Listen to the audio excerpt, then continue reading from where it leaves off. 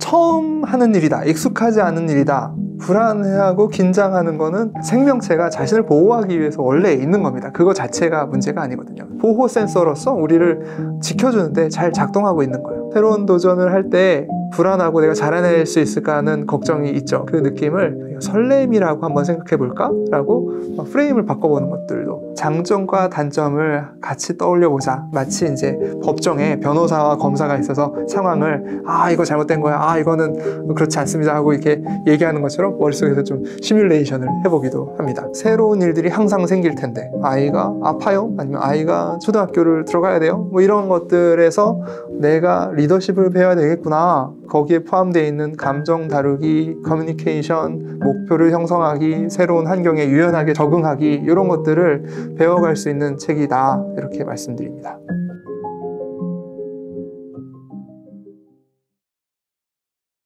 책에도 이제 결과 중심의 사고, 그러니까 성과 증명 마인드셋, 그리고 성장 중심의 사고, 학습 마인드셋 이렇게 이야기를 하는데요. 우리는 이제 사건을 그대로 보는 게 중요하거든요. 실패에서는 교훈이 있을 거고, 그거를 잘 적용하면은 과정에 집중해서 내가 이 과정을 어떻게 좀 바꿔서 새로 시도해 볼까 이렇게 하면 그러면 성공 확률을 계속 높여갈 수 있을 거예요. 그래서 여러 번 시도를 하면 언젠가는 한 번의 성공 아니면 두세 번만의 성공은 아니더라도 어, 길게 가서 성공할 수 있겠죠. 그런데 이 과정에서는 또 피드백도 잘 얻어야 되잖아요. 이걸 좀 더 잘하는 사람들에게 아니면은 어, 나를 도와줄 수 있는 사람들에게 솔직한 피드백을 얻어서 나, 내가 다음번 시도의 성공 확률을 높일 수 있게 그렇게 가야 될 텐데 성과 중심의 어, 제 결과를 증명하는 쪽에 너는 된 놈이야 안 된 놈이야 요 요거 요 압박을 나, 내가 되는 사람이다라는 걸 증명하기 위해서 결과 중심으로 하게 되면 뭔가 잘 안 됐을 때는 거기서 배운다기보다는 어, 이거는 쟤 때문이야 라고 하는 게 내가 속이 편해지겠죠. 누구도 할 수 없는 너무 과도한 목표를 설정한 건지 아니면 아, 이거는 내가 준비가 안 됐기 때문이고 이거를 개선하면 좋을 건지 이런 것들도 좀 구분을 해야 그 안에 들어있는 맥락들을 그대로 볼 수 있는 팩트도 보면서 그 안에 내가 이걸 너무 불안하게 느꼈는지 좌절감을 느꼈는지 아 내가 다시 시도해 볼 만한 일인지 이런 걸 다스리는 것들도 필요할 것입니다. 한마디로 요약하면 남에게 보여지는 것에 집중하는 사람, 과정 중심으로 생각하는 사람 이 두 개로 나눌 수가 있는 것 같아요. 그러니까 결과 중심의 사고를 하면 성과를 증명하는 거죠. 어, 나는 몇 등 하는 사람이야. 나는 어, 이거를 해낼 수 있는 사람이야. 라고 남에게 보여지는 거에 집중하게 되면 그러면 성장할 수 있는 포인트들을 놓치게 돼요. 그래서 내가 뭔가 일이 잘 됐을 때는 나는 야, 해냈구나. 다행이야. 근데 앞으로 이거 못 해내면 어떡하지? 라는 압박을 받을 수가 있고요. 그리고 못 해내게 되면 아, 그럼 나는 이거는 나는 자질이 없는 사람이야 라고 하면서 다음 시도를 하지 못하게 만들어 버립니다.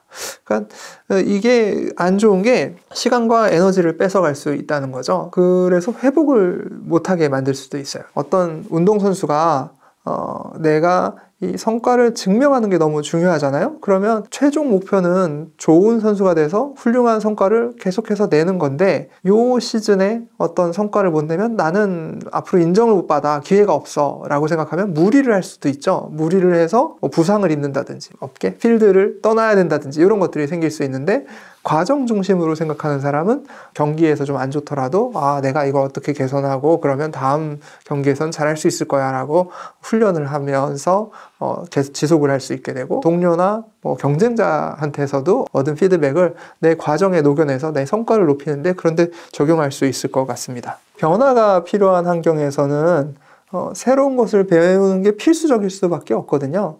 실패가 존재할 수 있는 거죠. 그러니까 연습 경기를 하는데 연습 경기에서 새로운 것을 시도해 보지 않으면 이거를 실전에선 적용해 볼 수가 없을 거잖아요. 근데 우리는 환경이 계속 바뀌어요. 내가 초중고에서 했던 것이 대학교에서는 다를 수 있고 대학원에서 다를 수 있고 회사에서 다를 수 있고 같은 회사에서도 부서가 배치되면서 아니면 경영 환경이 바뀌면서 내가 어, 이전에 했던 것들을 그대로 쓸 수가 없는 것들이 있을 겁니다. 그러니까 이전의 것들은 내가 필요해서 그 상황에 맞춰서 배웠던 건데 그것을 새로운 환경에서 쓸 수 없다는 거죠. 우리가 만약에 단순히 공장 라인에서 어, 주어진 그 뭐 찰리 채플린에 나오는 것처럼 이걸 반복한다면 성과 중심으로 너는 몇 개 분량이 났어 이거 정신 똑바로 차리고 열심히 해야 돼라는 걸로 성과를 낼 수도 있을 텐데 이거는 우리가 정해진 일을 하는 거잖아요. 근데 앞으로의 일들, 지금 현재에 우리가 맞닥뜨려 있는 현재 상황은 우리는 계속 변하는 상황에서 새로운 것을 계속 배워야 된다는 거죠. 그러니까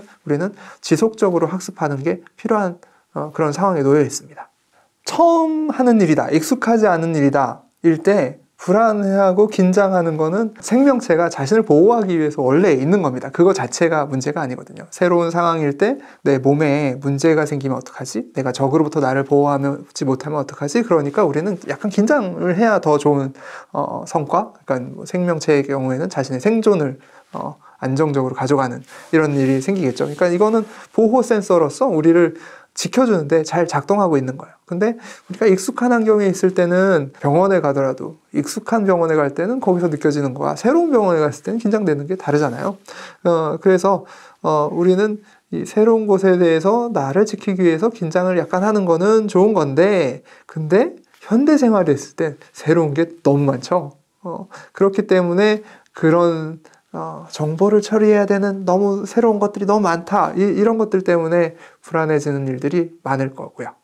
근데 반대로 이전에 그런 상황에서 뭐가 좀 잘못됐어요. 내가 긴장을 바싹 했는데도 그걸 잘 해내지 못했다. 그럼 이제 실패한 경험이 되잖아요. 그러면은 이게 더 켜지는 거죠. 내, 나를 더 잘 보호해서 적응적으로 하기 위해서 더 긴장해야지 라고 했는데 그게 오작동인 경우들이 많이 있거든요. 그러니까 오히려 긴장을 낮춰서 아니면 뭐 훈련을 해서 그 다음에 새로 시도해야 될 때, 어, 내가 저번에도 실패했는데 이것도 잘못되면 어떡하지? 라고 해서 긴장을 막 하면 그러면은 좋은 성과가 안 나겠죠. 뭐 예를 들어서 친구들 앞에서 노래를 했는데 그때 뭐가 살짝 꼬여서 아니면 그날 뭐 목 컨디션이 안 좋아서 그래서 더듬거나 아니면은 그 소위 그 노래 삑사리가 나거나 이런 것들이 있을 텐데 그게 다음번에 비슷한 상황이 주어졌을 때 어, 전에 안 좋았으니까 이거 더 실패하면 큰일 아니야? 이렇게 되면서 더 긴장해서 오히려 더 실패하는 이런 경우들이 생길 테니 이게 나에게 어떤 맥락으로 작용하고 있지? 이런 것들을 아는 게 중요할 겁니다. 당연히 두렵죠. 그러니까 두렵지 않고 저 나는 다 해낼 수 있어요라고 얘기하는 거는 그거는 아마 거짓말을 하는 것일 것입니다. 그러니까 저 같은 경우에도 어 이런 대중 서적을 쓴다? 어 이런 거는 당연히 뭐 해본 적이 없는 일이니까 어려운데 이거를 어떻게 내가 유연하게 목표 설정을 할 수 있을까에 아 그러면은 이걸 칼럼 형태로 짧게 써보자 이런 것들도 했었고요. 뭐 제가 뭐 학교 안에서 저희 강의를 하는 거야 익숙하지만 거기다 저희는 또 영어로 강의를 해서 한글로 이렇게 유연하게 어, 제 질문에 대응하고 이런 것들도 익숙하지가 않거든요. 그래서 대중 강연을 하는 것도 익숙하지가 않고 유튜브를 찍는 것도 익숙하지 않은데 이게 아 나는 못하는 건데 이거를 섭외가 오면 할까 이러면서 피했을 것 같아요. 옛날 같으면요. 그런데 어렸을 때의 경험이 이제 어, 살면서 아 내가 두려워하고 불안하는 게 어, 그럴 수 있구나. 근데 그때 어, 새로운 시도와 격려에 따라서 작은 어, 성공과 실패를 해보고 그때그때 하나 바뀌어보는 건 어떨까? 이런 거를 해보면서 그러면서 저도 함께 성장하는 것 같고 그게 뭐 작년에 유튜브를 찍을 때랑 올해 유튜브를 찍을 때랑 좀 또 다를 것 같고 어, 그 과정에서 내가 하나씩 배울 수 있구나. 무슨 교수라고 뭐 다 알고 그런 건 아니거든요. 그래서 새로운 도전을 할 때 어, 불안하고 내가 잘해낼 수 있을까 하는 걱정이 있죠. 근데 그때의 그 느낌을 설렘이라고 한번 생각해 볼까? 라고 어, 프레임을 바꿔보는 것들도 아마 이 책에도 비슷한 내용이 들어있을 것입니다. 책에 있고 또 우리가 일반적으로 알고 있는 것들을 다 씁니다. 명상을 하는데 무슨 명상을 매일 하지도 않고요. 가끔 뭔가 힘들 때 어, 알아차림을 해보기도 하고 장점과 단점을 같이 떠올려 보자. 뭐 저의 제 능력의 장점과 단점일 수도 있고 그 상황의 장점과 단점일 수도 있죠. 어, 뭐 이런 유튜브를 찍는 것이 어 나 익숙하지 않은데 인데 아 근데 이거를 시도해 보면 내가 뭔가 배울 수 있잖아. 이런 두 가지. 마치 이제 법정에 변호사와 검사가 있어서 상황을 아 이거 잘못된 거야. 아 이거는 그렇지 않습니다 하고 이렇게 얘기하는 것처럼 머릿속에서 좀 시뮬레이션을 해보기도 합니다. 그리고 이런 것들을 지인들과 얘기해 보기도 하고 전문 영역이 아닌 사람들과 뭐 감정에 대한 수다를 떨기도 하지만 이런 것들을 더 알고 있는 경험 있는 분한테 한번 어, 나 이런 거 하는데 도움을 줄 수 있어요라고 경험을 들어보기도 하고요. 또 그럴 때 휴식도 필요하죠. 그 휴식의 어, 형태는 또 다양하게 즐거움이 필요할지 나한테 여유가 필요할지 그래서 그런 거를 우리 좀 신기하게 부르는 저는 부르는데 이제 아무거나 대충 해도 되는 그냥 그 늘어져 있는 시간을 이거는 계획이 없는 거잖아요. 근데 그 시간을 계획합니다. 아, 이 시간에는 내가 어, 아무거나 그냥 되는 대로 할 수 있는 시간. 그래서 좀 여유를 두는 거죠. 그거는 휴식 시간이지만 또 뭔가를 해야 될 시간 중에 일 말고 이제 집에 들어오면 육아가 있잖아요. 육아는 어려운 과업이기도 한데 이거를 어떨 때는 정말 과업처럼 해야 될 때도 있지만 또 어떨 때는 어, 아이랑 같이 노는 시간, 나도 즐거운 시간 이렇게 할 수도 있고 요새는 저희가 아이랑 같이 얘는 어렸을 때부터 유치원 시절부터 요리사가 꿈이었는데 지금도 얼마 전까지 비슷하게 가지고 있었어요. 그래서 얘랑 성인 요리 학원을 다니면서 저는 요리사가 될 요리를 잘하고 싶은 생각은 전혀 없지만 어, 아이랑 그런 재미를 느끼면서 얘가 3시간이라는 시간에 어, 설거지 하는 것까지 책임감을 가지고 하는 것들을 제가 피드백을 주는 연습을 해요. 야, 너는 이거 잘하고 싶다며. 근데 이 설거지까지도 네가 감당해야 되는 몫이야. 어, 네가 하기 싫으면 다음번에 오지 말자. 라고 하면 얘는 이제 열심히 설거지를 하면서 다음 요리에 대해서 야, 그거 너 유튜브 맨날 게임만 보지 말고 내일 요리 이거니까 이거 미리 좀 예습 좀 해봐라. 할 때 그것도 해보기도 하고. 그러니까 이게 학습이냐 놀이냐에 섞여 있고 육아냐 제가 쉬는 시간이냐에 섞여 있는 거죠. 그거를 좀 재밌게 해보는 뭐 일타쌍피라고 하죠. 전문 용어로 이런 것들도 하면서 어, 휴식도 하면서 육아도 하면서 재미도 느끼면서 이런 것들을 해보려고 내 삶을 주도적으로 디자인해 보려고 노력하고 있습니다. 인생에 잘 배운다는 게 어, 새로운 게 등장했을 때 내 감정이 흔들리고 아 이거 잘 못하면 어떡하지 할 때 잘 배우는 것들도 있을 거고 어떤 조직이 형성됐을 때 그 조직이라는 게 무슨 큰 회사의 임원 뭐 이런 게 아니라 어, 자선단체를 뭐 이렇게 만들었다. 아니면 심지어 저기 작은 어, 단위 가족을 이뤘다. 가족을 이제 배우자랑 맞, 맞춰서 이제 두 명이 되는 것도 이제 조직이고 그 안에 이제 갈등을 어, 협상하고 서로 격려하고 이런 것들도 배워야 될 거고 거기에 이제 애들이 태어나면은 이제 두 명이 아닌 여러 명이 되는 조직이 되잖아요.